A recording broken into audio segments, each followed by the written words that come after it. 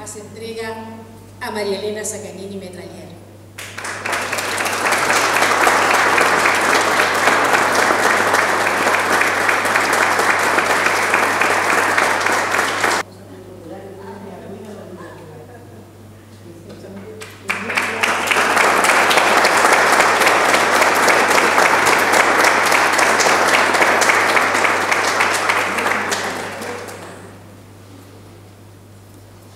Bueno, la verdad que yo también estoy muy emocionada porque esto viene de una larga data, el querer reconocer a María Elena en toda su trayectoria, para nosotros como una madrina que tenemos en el Club de Ciencias, es nuestro norte. ¿sí? que bueno, eh, gracias al voto popular asumí como concejala en el 2019, así que también quiero agradecer a mis compañeros de bloque, del Frente Creer, que sin dudar apoyaron esta, esta petición de la Asociación Vida y Ciencia y del Club de Ciencias Libertad para declarar a María Elena ciudadana ilustre. Así que gracias Flavia, gracias Raúl. Bueno, el otro Raúl no está presente, pero también manda sus felicitaciones. Eh, realmente para nosotros es un orgullo poder contar quién es María Elena Sacanini y esto que está acá es un mínimo extracto de un currículum que en mi vida había visto otro igual. Y lo mi forma de defender el proyecto en el Consejo Deliberante.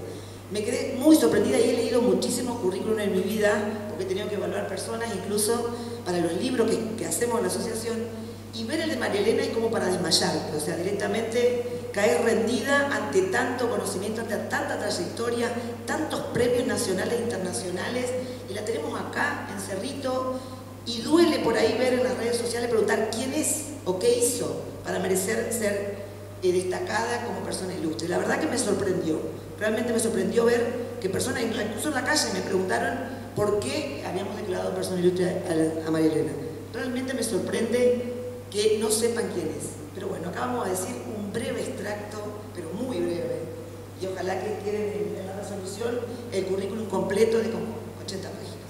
Bueno, María Elena Sacaní, profesora superior de Biología de la Universidad Nacional del Litoral y Master of Science en Manejo de Vida Silvestre de Colorado State University de Estados Unidos, donde también completó sus estudios de doctorado.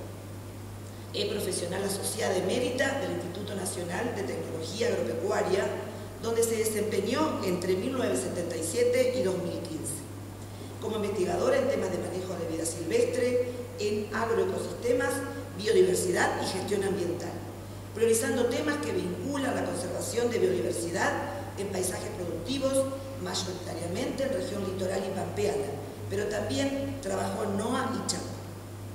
En INTA además se desempeñó en gestión de la investigación como Coordinadora Nacional de Fauna Silvestre, Coordinadora de la Red de Biodiversidad en Agroecosistemas y Coordinadora Nacional del Área Estratégica en Gestión Ambiental.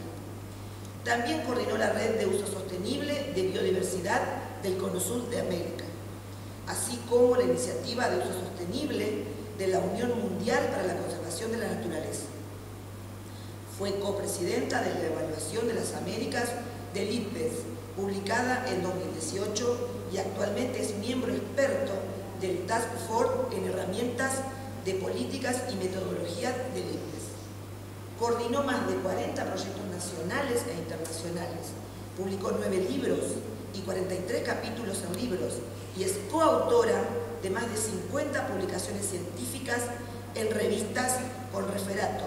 Dictó y organizó numerosos cursos de posgrado y formó 27 estudiantes de grado y posgrado.